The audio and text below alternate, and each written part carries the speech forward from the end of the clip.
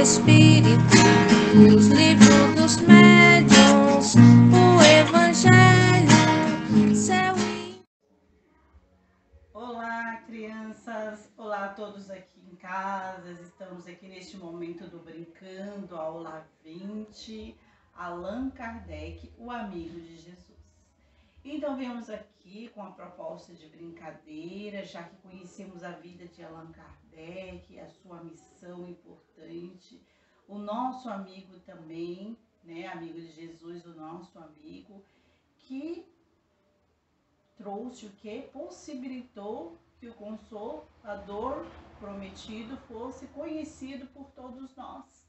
Para isso, ele trabalhou muito, estudou, pesquisou, coordenou, organizou. Então, Allan Kardec, ele dedicou a este trabalho para que a doutrina de Jesus, o Consolador prometido, como conhecemos, né, é a doutrina espírita, se fizesse presente em nossas vidas, nos auxiliando, né, no dia a dia relembrando assim os ensinamentos de Jesus, o significado. Para isso, ele trouxe várias informações, né? Ele compilou várias informações dos espíritos, dos amigos espirituais. E com essas várias informações, nós trouxemos aqui a proposta, que é o quê? Potinho de vários tamanhos, exemplificando as informações recebidas, né? Informações vindas dos espíritos que muitas, muitas coisas importantes que podem nos ajudar a compreender nós mesmos e tudo que nos cercam, o mundo espiritual. E ó, trouxemos potinhos de vários tamanhos, caixinhas de sabonete. Pede para mamãe, para o papai, todos aí em casa, né, catarem. Nesse momento a gente vai organizar. Vamos organizar os, os potinhos, como Allan Kardec fez.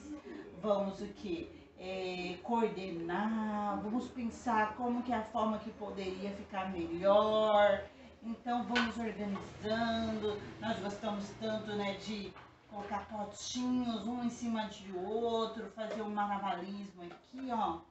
Hum, informações e como Kardec fez, organizou lá dos amigos espirituais. Então vamos fazendo vários o quê? Vamos pensar como ficaria melhor cada informação, né? Aqui, aqui, ficaria melhor aqui.